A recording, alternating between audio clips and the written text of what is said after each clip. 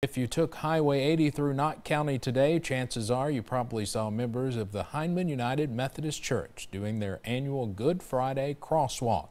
WYMT's Callie Rainey caught up with those walking to find out why it's so important to them. Rain or shine, friends and members of Hindman United Methodist Church do an annual Good Friday crosswalk. We start at the Perry County, Knott County line and we walk all the way to the Knott County, Floyd County line. Members say the walk is 20.1 miles.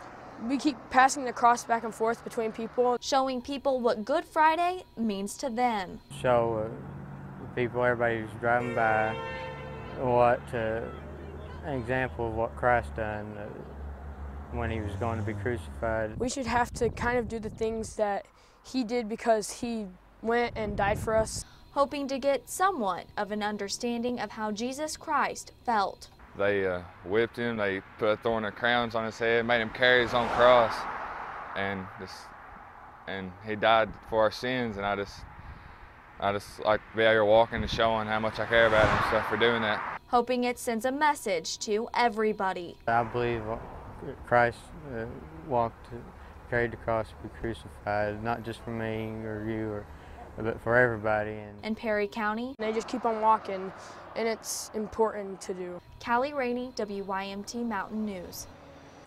Members of Hindman United Methodist Church say they do the crosswalk every year and want to extend an invite to anyone who wants to join them on Good Friday next year.